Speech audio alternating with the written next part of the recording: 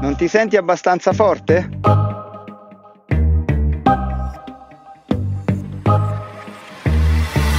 Per la serie I 10 motivi che tengono lontano le persone dall'arrampicata, ecco a voi oggi parliamo della forza. La prima idea che hanno le persone quando iniziano ad arrampicare o neanche pensano all'arrampicata, guardano gli altri e dicono ma quanta forza ci vorrà per fare quelle cose? Sì, è vero, può essere uno sport di forza, molte persone la utilizzano per fare la forza, per sviluppare la forza.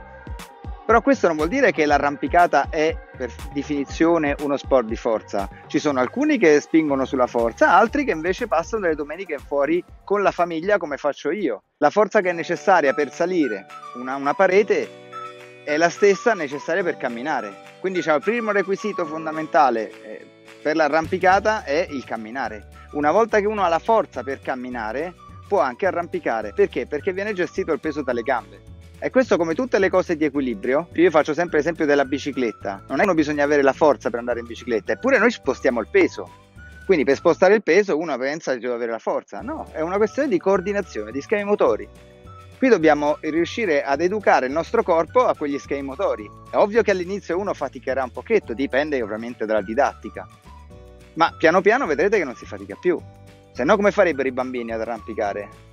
Le informazioni che ti arrivano dell'arrampicata dagli strumenti mediatici sono di chi, fa, chi vince la Coppa del Mondo, del, diciamo, del ragazzo, dell'uomo che riesce a fare la via più difficile del mondo, ma quelli là sono gli estremi. È ovvio che se uno deve iniziare con l'idea che deve vincere la Coppa del Mondo, che deve fare un, una parete impossibile con, che nessuno finora abbia fatto, probabilmente si dovrà allenare tanto e dovrà anche faticare per arrivarci. Però questo non vuol dire che è l'arrampicata. Quello è un modello di arrampicata, è un tipo di arrampicata, è dei professionisti.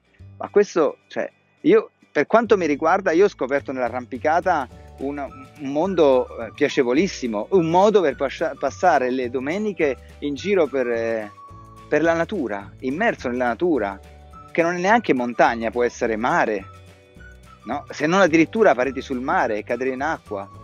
Ma questo non vuol dire che debbano essere per forza difficili o che tu abbia bisogno per forza di forza. No. Questo è quello che a te appare perché è quello che viene trasmesso dalla maggior parte dei canali mediatici.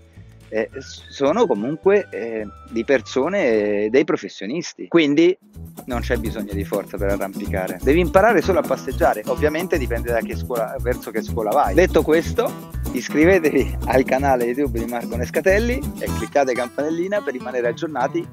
Alla prossima!